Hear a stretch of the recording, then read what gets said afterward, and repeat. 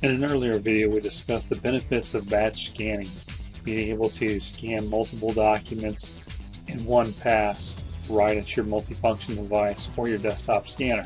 However, sometimes you may want to not only scan the documents, but also name the files that you're scanning automatically. For example, maybe you have information on the first page of every document, such as a purchase order that you want to scan that has the invoice behind it and any supporting documentation that you may want to scan.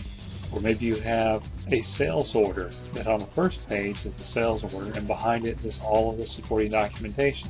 So you not only want to scan it in, in batches and have them go to individual PDFs, but you also want to have the ability to name those documents and file them away appropriately based off of information that may be on the first page of each group of documents. In this example, we're using a sales order. The first page is a quote sheet. Every quote sheet has a unique quote number. In addition, the name of the customer is in a barcode on the first page as well. We want to be able to capture that information so that we can automatically name the document by the unique information on the first page. But we have multiple sales orders and we want to be able to walk up to our multifunction device and batch scan them in.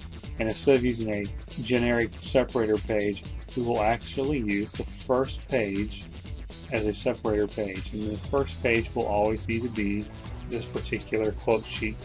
And we scan those documents. You actually can see that multifunction device scan the doc document in. It's picked up. The information is read. And it automatically created a sales order folder.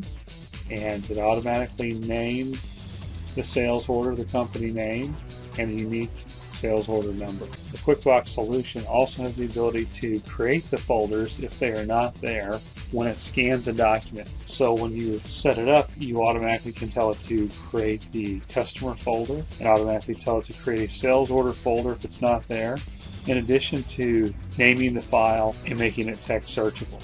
All the steps are automated. No human intervention is required. Only thing they need to do is scan the documents if they are in paper format, or you can set it to monitor a folder on the network or to monitor an email address. And when that email address receives those documents, it can automatically download the attachments, import them, and process them.